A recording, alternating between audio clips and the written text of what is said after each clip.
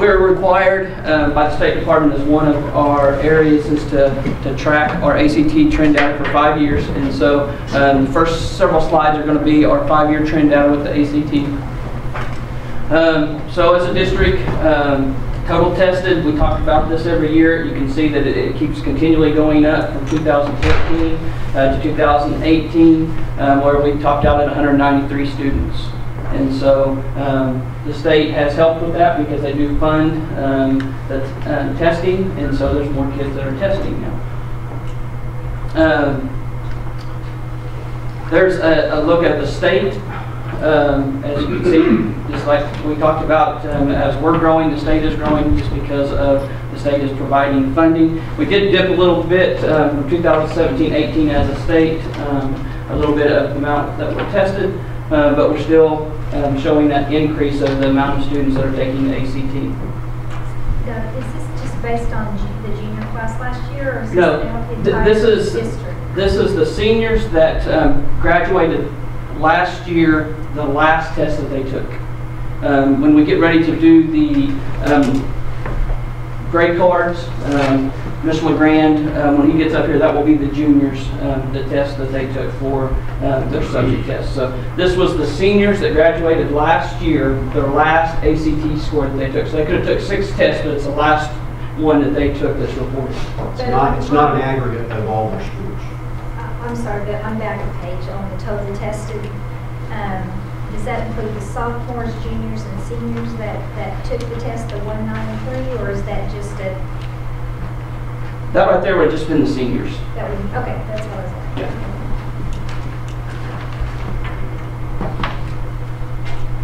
Um, so for the English, um, when you look across there, uh, five-year trend, um, we did take a dip um, this year. And I'd like to tell everybody you're not comparing apples to apples because these are different kids every year, um, you know, with different uh, things that are going on um, and where they're at. And so this is one thing Mr. LeGrand and I talked about is, you know, we took a dip what are we doing? Um, we went back and kind of discussed some things. And so I know when Mr. LeGrand gets up, he's going to talk a little bit of what they're doing at the high school. But um, we had a pretty good trend, and we're trying to get to that uh, state average.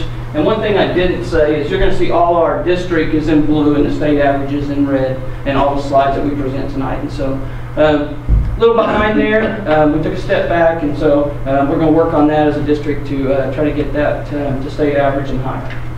Hey, Doug, whenever I was kind of looking through this, when did we switch to the new standards, teaching standards? On the English, was that two years Two ago? years ago, yeah. Good question. Um, the map.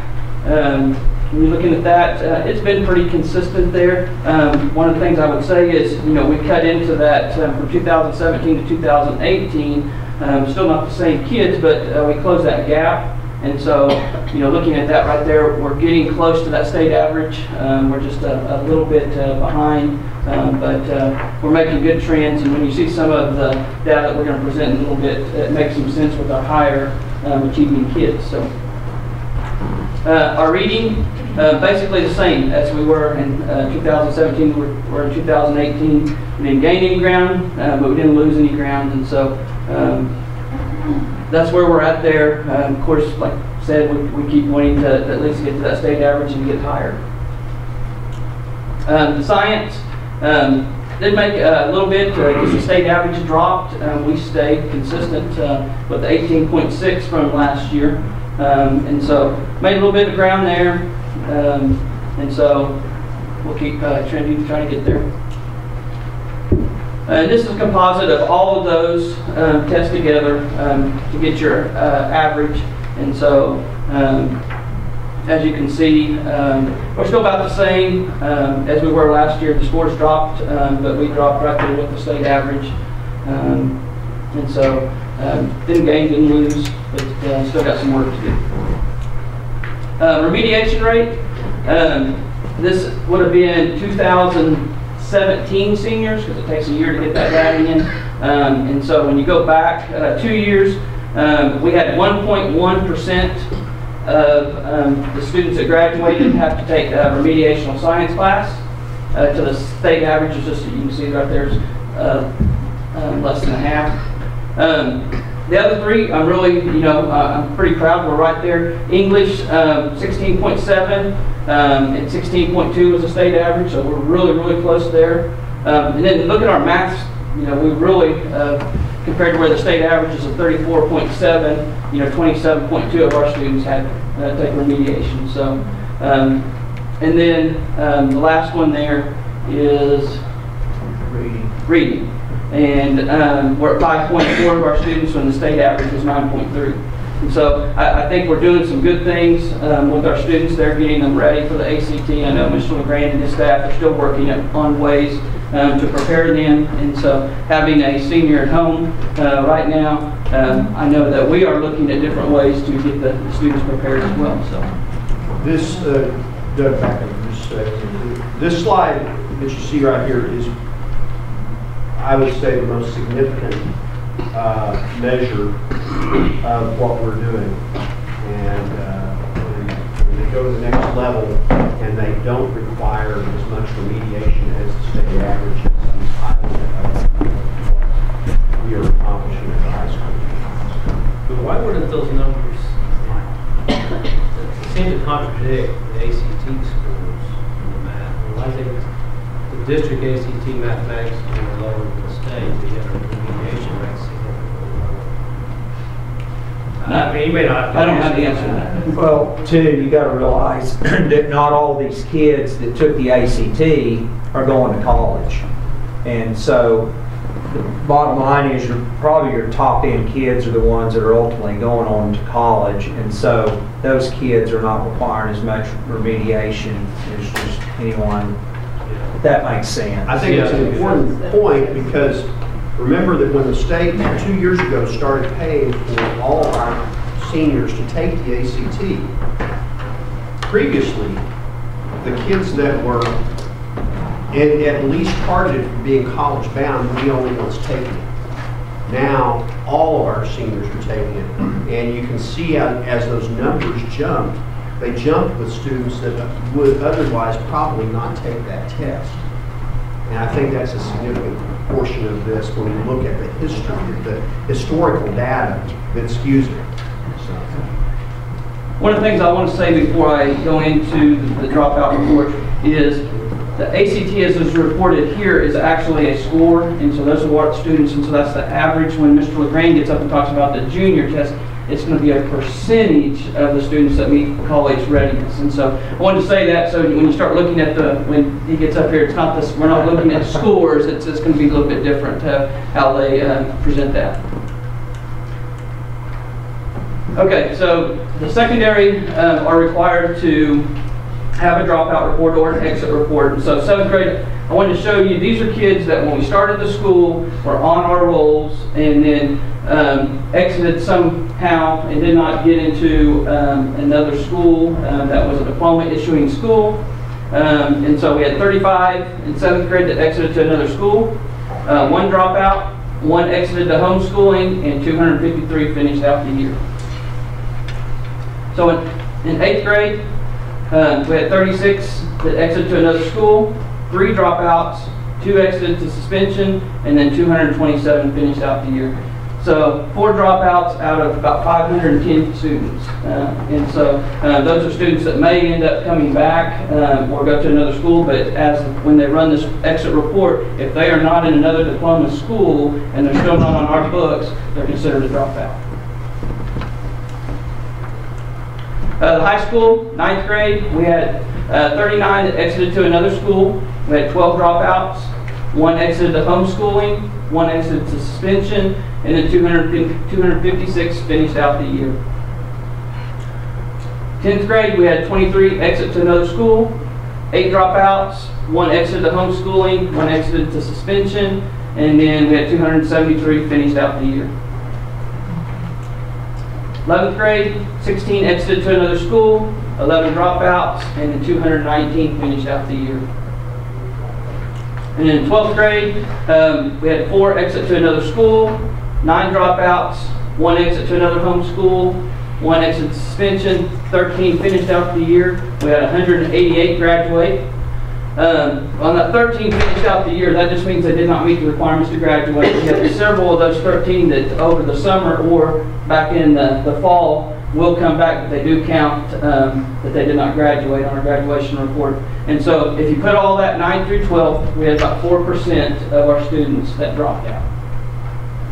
Okay, Doug, Huh? when you say on the 12th grade, 188 graduated, and then back to page two, we talked about 193 seniors took the ACT. Are you telling me that almost a 95% of the class took ACT test?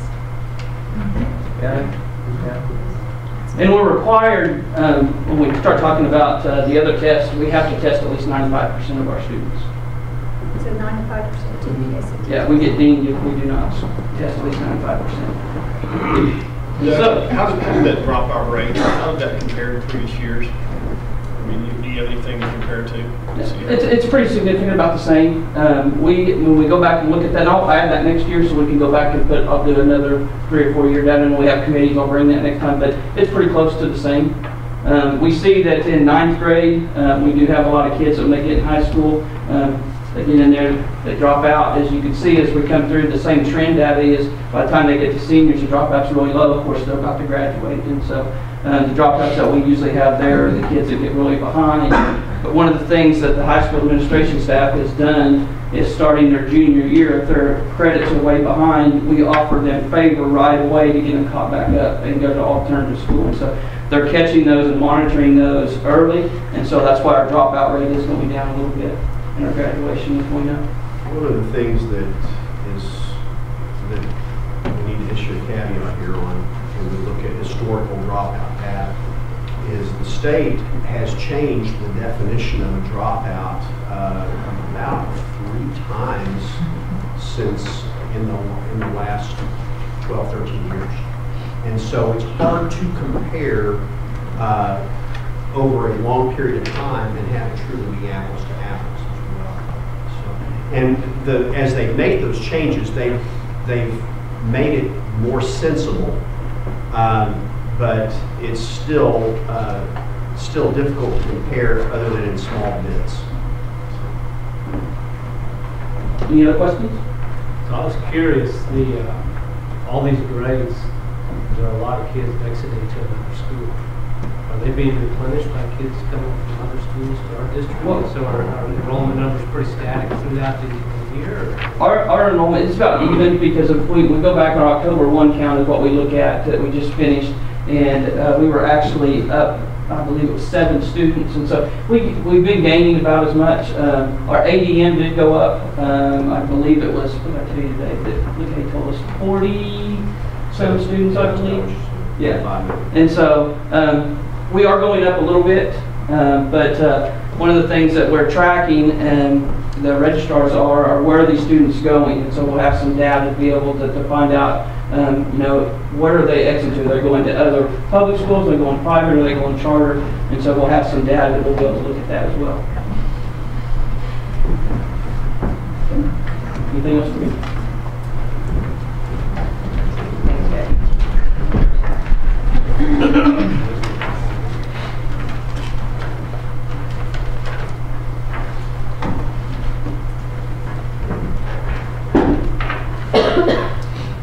Dee, can we get that bottom block off?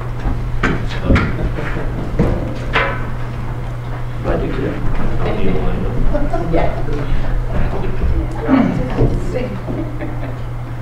Okay.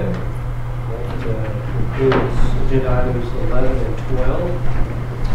Thank you, Mr. Ogle. Agenda item 13, presentation by principal, Ms. Marcia Todd, Ms. Susan Davison, Mr. Robbie Rainwater, Mr. Chris LeGrand, the final Oklahoma School Testing Program results for Fogarty, yes, Guthrie Junior High and Guthrie High School for 2017 and 2018. Our third grade math, last year, the state average, as- we said earlier, was in red, was 42%. Um, The third grade average was 25%. We've always, um, that's always been a weak point for us. We kind of knew going into this um, year that we would drop based on them changing the cut scores on the testing. Um, we are working toward bringing those math scores up. Of course, we are, you know, dissecting those new standards uh, bit by bit. We're looking at our data, looking at data, looking at data, tracking every single one of those students um, across the board and can pretty much nail by the end of the year who's going to who's going to pass and who's going to fail that test. Um, we are intervening and trying to remediate um, as much as we can for third grade, but that's um, something that we continue to work on. For our reading, um, again, they adjusted those cut scores to, I believe, the national level. So the state average was 34% proficient and News was 16% proficient. I went back and totaled our RSA numbers for this so that we would have those, and the state average for RSA was 78%, and Fairview's RSA numbers were 67%. That's the portion that they have to pass, um, the reading comprehension and vocabulary portion of the test that they have to pass to be promoted for the RSA. Say those percentages again. For the RSA, yes, if the state average was 78%, and Fairview's average was 67%. And just because I'm not familiar with the vernacular, RSA. is the Reading Sufficiency Act, which is part of our um, Oklahoma law, Third grade reading. that, the third grade reading, third grade reading law slash RSA. Absolutely. Yes, Marcia, is third grade the first official state testing we see? yes ma'am, it is. So It is. this is kind of where we see, where we're starting with. Yes, yes. We're, we're collecting lots of data, um, over the, you know, and I'm really anxious to do that with neighborhood schools. Um, but tracking those kids from first, second, third grade, um, all the way up. So this year we have a good line of data on our third graders, all the way back from kindergarten, um, to kind of help us, you know, see if they, how they've grown each year, if they've had the same gaps and what we're doing there. Any more questions?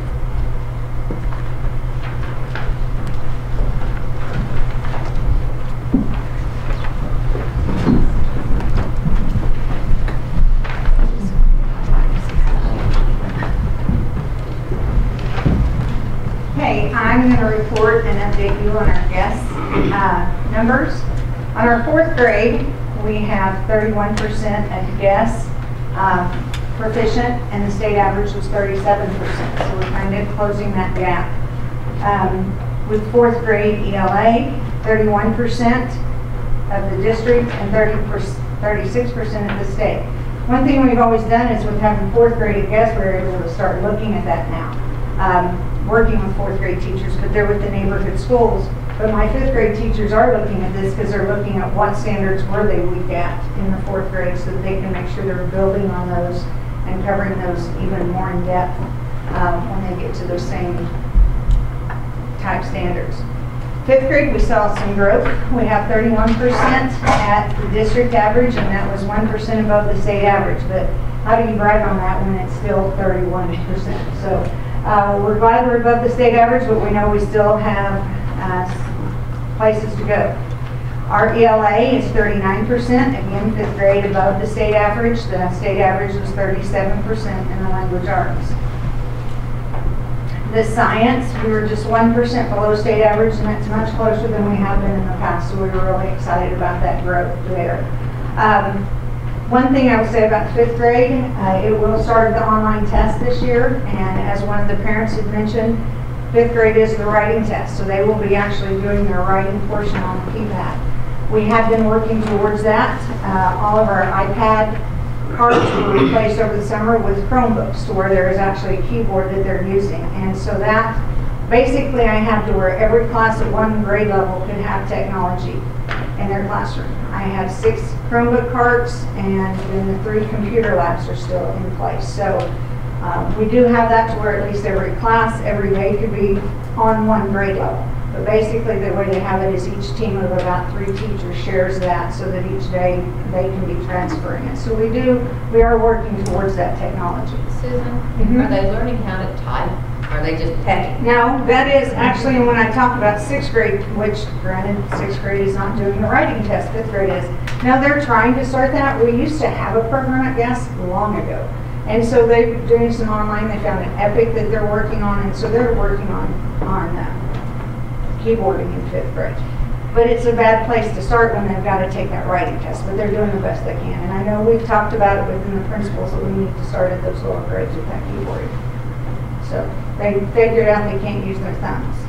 So they're trying it, they're trying it, but it's not working for them. So we're working at it. Um, So, um, sixth grade math, we are at, uh, the state average was at 28%.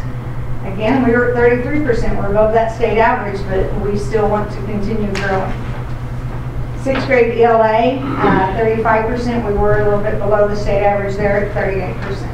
One thing sixth grade's looking at is they're trying to, kind of following a, a- something that the junior high's done, we're trying to, in our last 35 to 40 minutes of the day, doing a study skills with the students who did not pass the state test. And about every three to four weeks, they switch. One week we'll focus on the ELA. ELA teachers are doing intervention with those kids who didn't pass. The other classes are doing some type of enrichment. We've got anything from life skills, newspaper, um, just different things. Teacher, one teacher's just doing art, things that we've had to not focus on in the curriculum because of focusing on that. So students who pass the test are doing some of those. Um, and then the next set will be math, and we'll pull those kids who haven't taught the math. And then I know just now they're gonna redo some MAPS testing to see if we've had some growth, and, you know, that's kind of an incentive for those kids to grow in their skills as they can get out of that class and start doing other, we call them electives, if they, as they grow. So that's one of the new things we're trying in sixth grade to build on this. Any questions? I'm just curious with what you just said, about having to start taking their test online and typing and stuff. Do you expect statewide that's gonna be a disaster?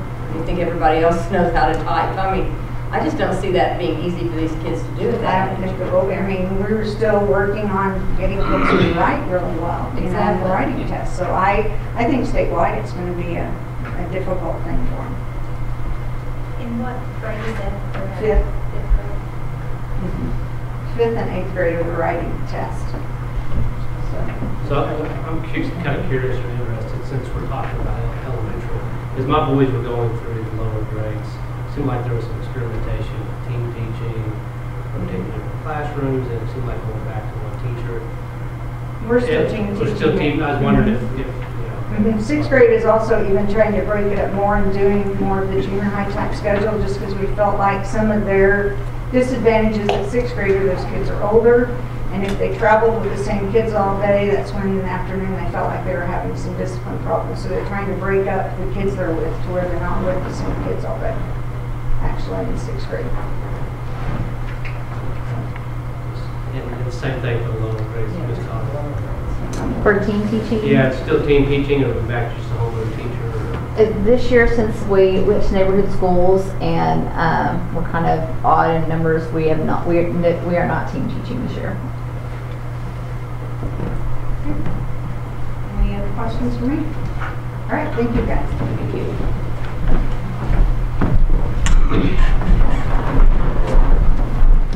All right, for the junior high, uh, seventh grade math, uh, state average was thirty-five percent, and we were at thirty-nine percent. Um, I'm just gonna run through these, you guys stop me anytime you want to ask something. Seventh grade ELA, uh, twenty-eight percent for both us and the state average.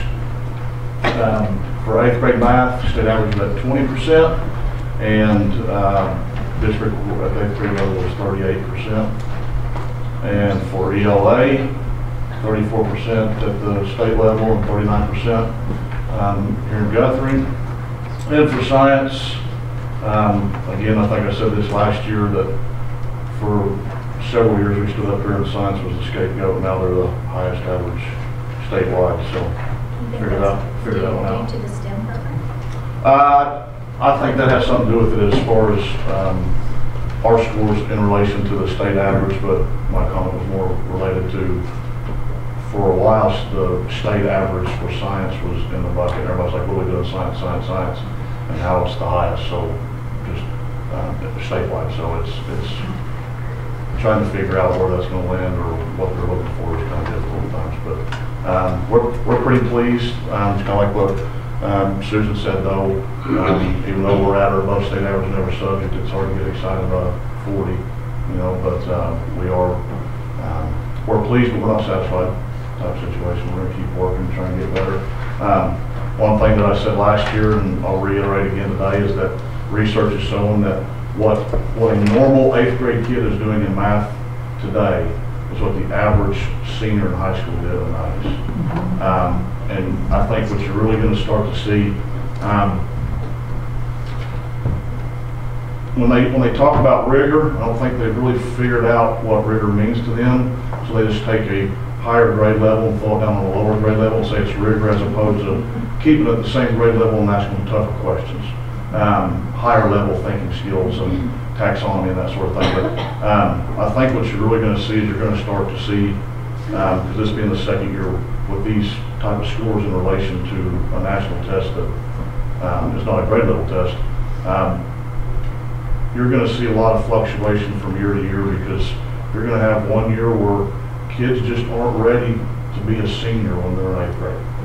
And then you have another year where you have a large group of kids that can handle that type, you know, it's just, it's, it's very developmental. And I think we're, um, well, I know we are, at times asking kids to do more than what they're developmentally capable of doing at the time. But, um, anyway, I, th- I think you'll see a large fluctuation in that from year to year as we keep going through this and, and especially as long as they keep moving this to a national test, it's on a grade level test, so.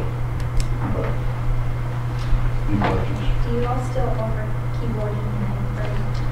Yes, keyboarding is, um, every kid will take that, um, one nine weeks.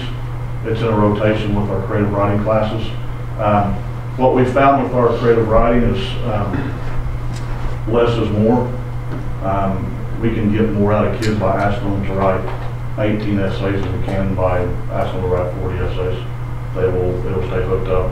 Uh, Once once you get into the third nine weeks and they're still writing the same type of essays over and over and over again, you start, you start to see, not only does the quality go down, but the quantity goes down also. You have a whole lot less kids doing them, um, and they're doing them to be doing them and not getting better at them. So, um, we have those, um, each kid will take a semester of creative writing and a nine weeks of keyboarding.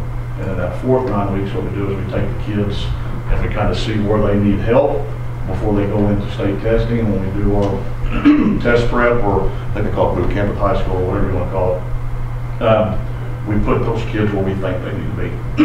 And especially depending on what they're going to be asked to do um, in April. Um, Seventh grade, we're not, we're probably not going to put them as heavy in the writing during that time because their writing portion of the test is basically just grammar um, and that sort of thing. They're not really writing uh, entire essay. But we want our eighth graders definitely to be um, practicing more essays during that time. So we try and stagger, we, we stagger the nine weeks depending on what um, that, the- that group of kids is going to be taking in April. Um, We try not to set up anything in relation to testing, but we also want to prepare them for what they're going to be held accountable to when April rolls around, so. And their written test is, is keyboarding on? Yes, yes, yeah. Yeah, but the, the keyboarding is very important, obviously, so.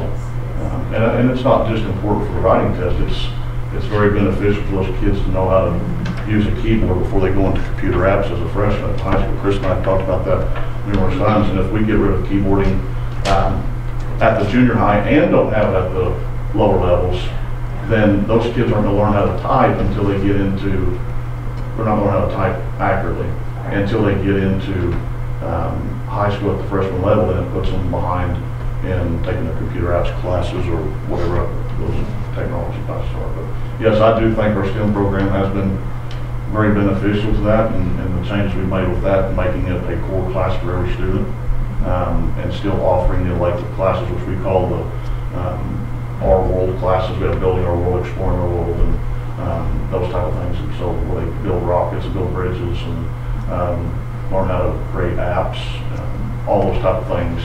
Um, but as far as moving our STEM as a core class, is not only benefit our scientists, It's helping our math because our, um, that puts our STEM teacher now on a team of teachers that gets to meet with the math teacher and science teacher regularly, just like everybody else does, and so they can really plan their um, lessons in conjunction with uh, the topics that are going on in the regular classroom as well. So, Do you think that like attributes to why the eighth grade math score statewide is so significantly low? I mean, it's so much lower, it's twenty percent. I mean, it's, I can give you the answer, I don't know, but it's not gonna be politically correct, so stop me whenever you want to. well, I'm to. just curious, I mean, because it's just, it's significantly lower than the state average on all The the way, other the way subjects, these, so. the way the, the way the test is being done is, the argument became, why is Oklahoma so, ranking so low nationally on this national NAEP test, yet they're ranking so high on their state tests? There was this big gap in saying, why is seventy-six percent of eighth grade students passing the Oklahoma standardized test, but only twenty percent of them are, are passing the NAEP test? The answer to that is the highest that the NAEP eighth grade math test has ever been is forty-four percent. There's never been a state score higher than forty-four percent on the eighth grade math test when it comes to NAEP. And the reason why is because it's not a grade level test. They're testing eighth graders on general knowledge of math, not an eighth grade test. Oklahoma is testing eighth graders based on eighth grade standards, not eighth, ninth, tenth, eleventh, and twelfth general knowledge. So when you're looking at these scores, okay, and why are they so low, all right? When they do the cut scores for um, these tests, they make sure it matches where they want Oklahoma to rank when it comes to NAEP, so the state test matches what the national test says. It's a joke. Okay? Thank you, Darcy, I'll sit down. You guys, email me. Chris, uh, I I did want to fill in a couple of blanks there before Chris uh, starts on high school. Thank you, Mr. Rainwater. I'm sorry. Uh, When you look at what we're doing from third grade and really from pre-K through eighth grade, because that's really what we're talking about. Uh, Seven years ago, when we started this, when I, when I became superintendent, and it's, that kind of coincided with a whole lot of the report card and this focus on scores and things like that. And I can remember sitting in some of those meetings with the administrators where I wasn't sure that they weren't going to become suicidal or at least, at least need counseling. Uh, And that's when we changed the conversation to focus on where we are as opposed to the state average.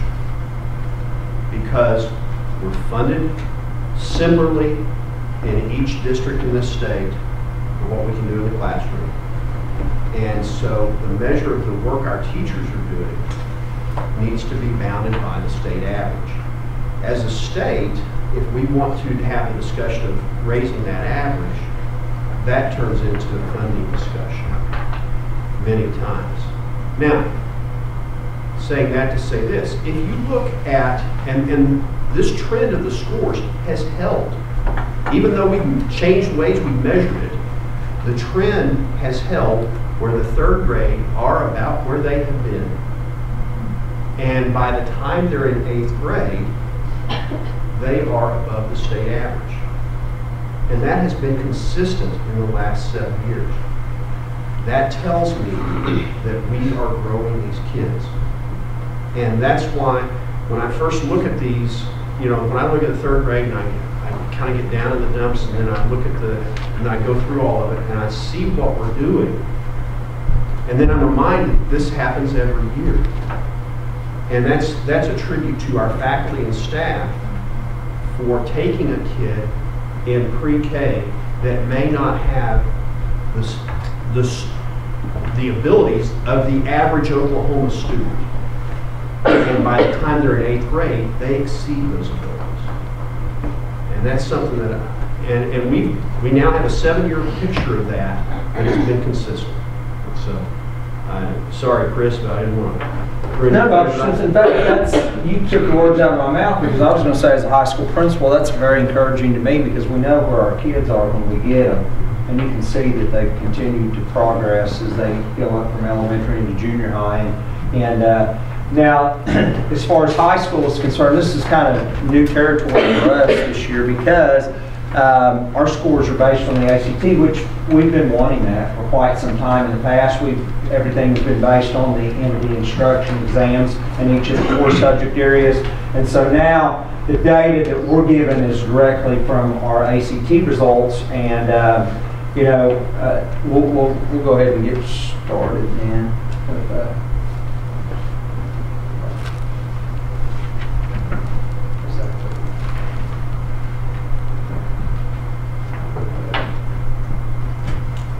Whoops. Okay. All right, now. Okay. um, What what here, and I've got to clarify exactly this information, what this means as far as the percentage. Well, um, what ACT has done is they've been able to set a, a standard, what they call the college readiness benchmark scores. And there's a range of these scores, but basically, they're saying that if a student can make an 18 or better on their ACT, their sub-score in English, then they have a 50% chance of scoring at least a C or higher on a college level comparable class, or a 75% chance of scoring at least a C or higher. Okay?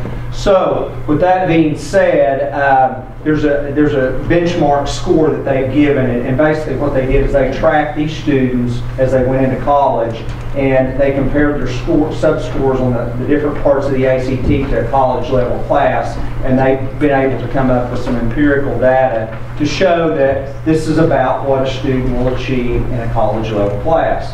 And so with that being said, uh, statewide this year on the ACT, these are the juniors, the ones we looked at uh, in the earlier slide that Doug gave were the graduating seniors of 2018. These are juniors that will graduate this spring in, in 2019. And uh, 16% of our kids met those college benchmark standards. The, the state average was 20%. So uh, we're just a little bit behind there. Um, and I'm going to go through each one and I'm going to tell you some things that we're kind of doing to improve our scores in this area. 11th grade English. English on the ACT and read, readings, reading English is more usage and grammar and punctuation. Uh, and we've kind of gotten away from that a little bit, and so we're going to try to emphasize that a little bit more and get back to that. Uh, as you guys probably know, kids today do a lot of uh, texting and get on social media, and I wouldn't say that their usage and grammar and spelling skills are real apt. Uh, if anything, they're inept, but uh, I think that probably contributes a little bit to that. But uh, at the same time, we're going to make an emphasis, and, and our teachers are doing a really good job of using a lot of this grammar work as I go around to the classrooms as their board starters when they're walking in and they have to correct sentences and I, I think it's good practice for the ACT. Uh, in science, it's 16 to 20 percent. Uh, uh, as far as the, the, percent, and again, if you look at statewide and all the kids are taking tests, you think 20%, that's not very good, but again, we're testing every every junior in, in our school and in the state, and uh, not all these kids, as I mentioned earlier, are actually going to go on to college. Uh, but uh, they are taking the test, and uh, you can see here the reading is, is where we've really closed the gap uh, compared to the other. There's just a few percentage points behind 28 and 30 percent. And again, this is what ACT considers uh, college readiness benchmark scores. And so what we're doing, uh, and I can already see the results because as I look at this, I've got the data from last year too. And in English alone last year, we had a discrepancy of 14 percentage points, whereas this year our, our discrepancy was seven. So we pretty much cut that in half in one year. Uh, and I, I, should probably put that up there too. And then uh, in reading, there was a discrepancy between last year's seniors and this year's juniors of 10 percentage points between district and state. And this year, as you can see, there's only 2%. So I'm seeing growth there, but what we're doing uh, is we're working on ACT prep. And uh, last year, we had 50 site licenses the kids were using during Power Hour. This year, we've got 100. And what I'm going to do is I'm waiting until January to start those kids on ACT prep. Last year, we started in September and 30 each month, we're working on it. Well, by the time they took the test in April, out of sight, out of mind. So this year, with more site licenses, I can start in January, and we'll have about 100 kids, or 75 kids to 100 kids each month, and then when we take it in April, they've all had the opportunity to take uh, the ACT prep. Another thing that we're really, uh, it's a different from elementary school up to high school, the ACT is a time test. Uh, Whereas the state test, they have all the time they want, and that is the biggest challenge of our kids when they take the ACT, is that for math, there's 60 problems in 60 minutes. And so you don't have an hour and a half, two hours, three hours, unlimited time. You have to get in there and manage your time wisely. And we're also taking the pre-ACT, so Wednesday, all of our sophomores will take the pre-ACT, which is basically like the ACT. And uh, that, that is a great practice test in preparation for their junior year when it actually counts. And uh, we're comparing that data from their sophomore years to their junior year to look for growth individually with our students. And I think that's going to help. But getting back to the time, uh, our math teachers are really, whenever they give benchmark exams, they give them an hour to take the test. And so we're trying to give them the same type of scenario, testing situation that they'll count, encounter on the ACT. Because some kids, and I mean, some people in general, they just, with time, uh, they don't do well with it. So they got to practice it, and they got to learn to manage their time, and there's some different test-taking strategies that they can focus on in the different subject areas to help them manage that time element. But uh, we're all working hard there, and uh, um, you know, this right here is probably the one that I'm most proud of because these, these, this is the percent of students that were, uh, met the benchmark, college readiness benchmark standards in all four. Because a lot of times kids will like be really good in English, but not very good in math, or they're really good in math and science, but they're not very good in English. Well, these are the percent of kids that passed all four of them. And if you take our top kids at Guthrie High School and compare them to the top kids across Oklahoma, look there. I'll, I'll take our top along with everyone else. And so state average was only 11%, but if you take our top kids, and this year we have like 238 kids, that's like 23 kids, and it's probably no coincidence we have like 30 kids right now that are up for valedictorian. That's a very good indicator of uh, the percent of kids that we have that are, are top level kids and are scoring really high and uh, will go on to college and do great things. So anyway, that's, did I, uh, did everyone kind of get that thing? And again, it's all new to us. Um, This first year, we've actually used the ACT data. And uh, so we know, we kind of have an idea now what we need to focus on and work on, and we'll continue to do so. And uh, I think uh, you're going to continue to see improvements in our scores from one year to the next. Plus, I'm, I'm pleased because we've actually, we're testing, Doug didn't mention it, but like if you compare last year, to this year, uh, we actually tested like 15 more kids than we did the year before. And we either maintained or we're just a little bit above what we were the year before. So I think that's improvement in and of itself. Any questions? Any questions for any of them? I had a comment, not so much a question. And I think I made a similar comment last year. You guys have set such a high standard for yourselves, and you can see the disappointment when you say, you know, we're comparing it to a thirty percent or a forty percent. So you can see the drive and the desire that you have to improve these students. And I know that we've seen it, seen it in the reports that you've presented over the last couple of years, where, you know, when the target keeps changing, you still keep striving. Every single one of you talked about how you're analyzing the data that you're getting, and you're collaborating together, taking ideas from one school to the other to improve so that you're preparing that for the long term. And I just want to say thank you, and that, that, you